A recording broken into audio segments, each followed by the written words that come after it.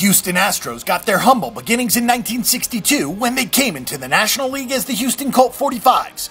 They became the Astros in the 1965 season when they moved to the Astrodome, the first ever dome stadium to host a major league team.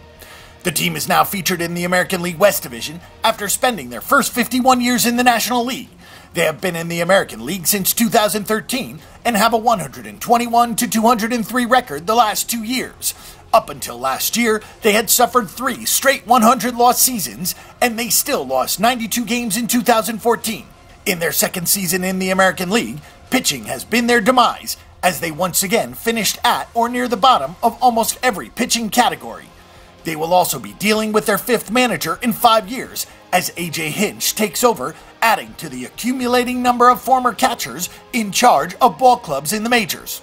Some players to watch for 2015 Jose Altuve enters his fifth season with the Astros and is coming off a season leading the league in hits with 225 and an average of .341.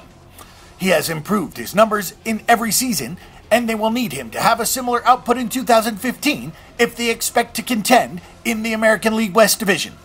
Chris Carter got off to a rough start in 2014, but that didn't stop him from putting up some impressive power numbers he finished the year with career highs in home runs with 37 and 88 RBIs and avoided arbitration, signing a one-year deal for just over 4 million.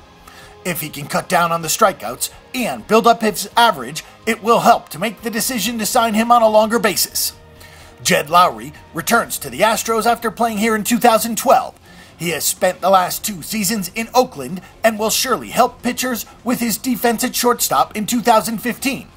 In seven seasons in the majors, he has a fielding percentage of .973 and only made 13 errors in 130 appearances last year in Oakland. It will most likely be another long season in Space City, as we recall the infamous NASA quote, Houston, we have a problem.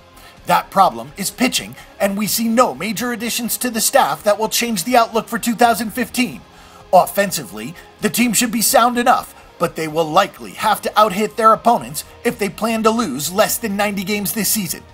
AJ Hinch taking over as manager does not exactly instill confidence in the media and the city alike, as he wasn't very much good as a player. He also doesn't have a good track record as a coach, with 89 and 123 record when he was in Arizona back in 2009-2010.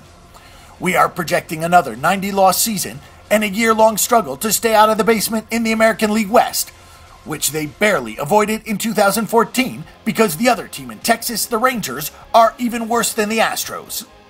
Don't forget that the Bang the Book Betting Center is your best resource for information before you make your weekly assault on the sports books.